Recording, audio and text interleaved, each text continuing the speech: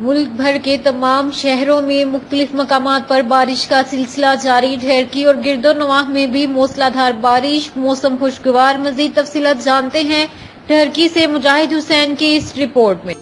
डहरकी और इसके गिरदोनहा में आज भी मौसलाधार बारिश और सनसनाती हवाओं का राज बारिश के बरसने से गर्मी की शिद्दत में कमी, मौसम खुशगवार।